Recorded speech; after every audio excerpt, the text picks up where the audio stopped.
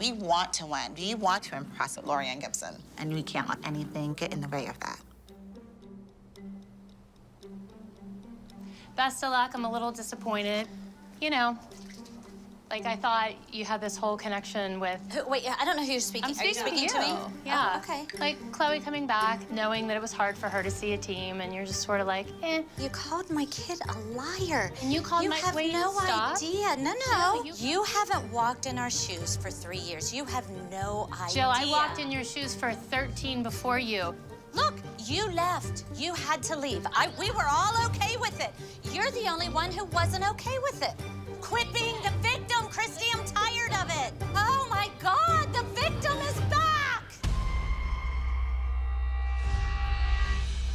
It would be great if Christi would just shut up and let the girls dance. But then it wouldn't be Christi, would it? Girls, quit letting her be the victim. This is I'm her not the victim, Jill. This is her game. The past is all Christi has, so of course she's gonna use it to try to throw us off our game.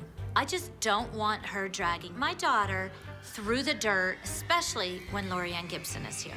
I'm not the victim. You're blaming my kid because you decided to leave. No, I'm blaming You You had to leave. Because You're blaming me because you decided to leave. It gets even better. I'm blaming you because the day Abby was awful to Chloe, I was sticking up for your daughter. So why are you blaming me? Why That was your choice. Why didn't you get my back and stick up for my You have no idea what happened when you walked out that door. Yes, you I ha- do. No, you don't. Oh, yes, No, I you do. don't. Because you didn't bother to answer any of my calls. You didn't call, Jill.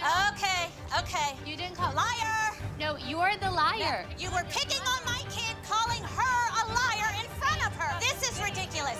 Give our kids a break, Christi. Pick on me, don't pick on my kid. Jill, this is a hard day for me Yeah. on a lot of levels. I'm not playing a Yeah. victim. I'm being an honest person. I'm going to watch my kid dance. I can't do it. I can't do this. I can't do that. I'm not a victim. I can't do this. Out of all the people on the team, I really didn't expect Jill to be the one who went after me. But Jill's so worried about Kendall not having the spotlight. Chloe's a threat. I'm a threat. She does not like the fact, and we might take some of the attention away.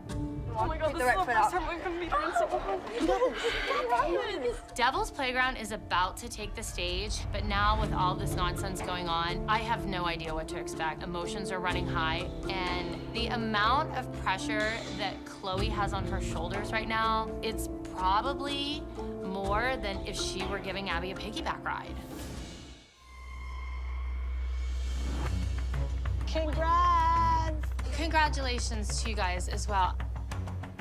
I'm sorry for the for the girls. That's kind of hard. Like that's kind of sucky. And in first place, entry number 90, Devil's Playground.